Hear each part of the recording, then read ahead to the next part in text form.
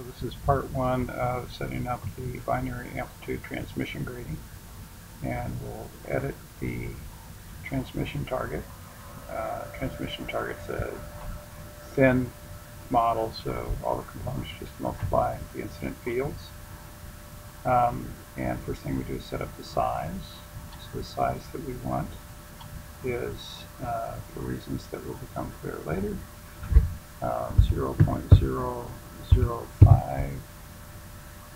0.0053766, that's a little over 5 millimeters.